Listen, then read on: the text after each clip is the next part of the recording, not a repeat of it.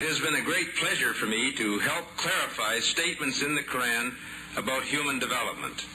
It is clear to me that these statements must have come to Muhammad from God or Allah because almost all of this knowledge was not discovered, uh, discovered until many centuries later.